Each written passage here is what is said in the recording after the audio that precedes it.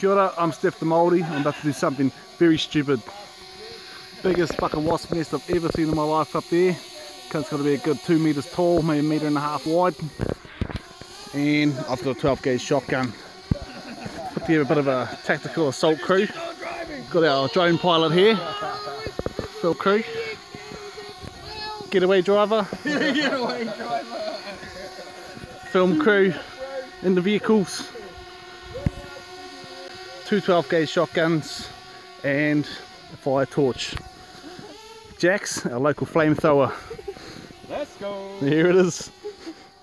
A couple of shotguns, got a pump action, five shot, and a single shot, unfortunately, or not me. 125 shots there, and a bit of fly spray for good luck. Whoa, he got it. oh,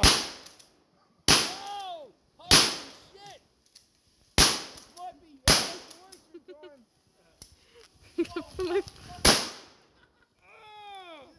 Right.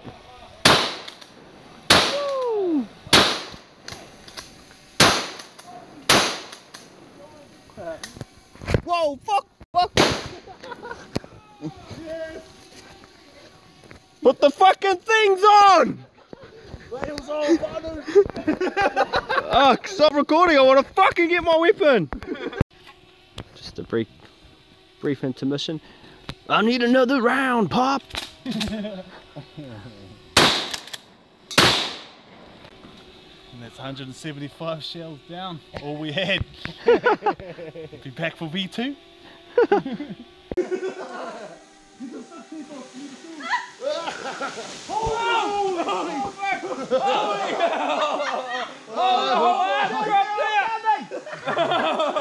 Incoming! Ready for the shit?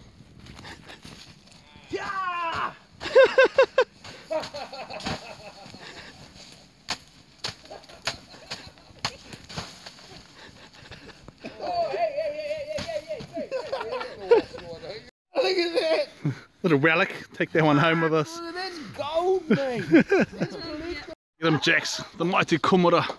hey, oh, he needs to a tree in the way. Tufano, been a few months since we went and shot up that wasp nest. Have been back since and didn't fare too well through the winter. Best guess is we either killed the queen with the shotgun blast or just didn't like it very much not having that insulation through the winter months. One thing I can be sure of those that would have succeeded the first time had we have had military style semi-automatics. Thank you Jacinda. I'm an OG Kiwi, smoke cones with the local iwi. Out to find me a dime and a lope to Fiji. This little bastard is only half a wasp. You're clipped by a pellet, did you mate?